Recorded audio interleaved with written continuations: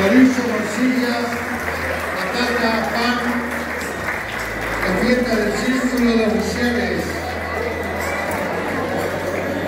Queremos que lo pasen bien, que se diviertan, que puedan cenar bien este rico menú y por supuesto vivir la noche del socio del círculo Buen provecho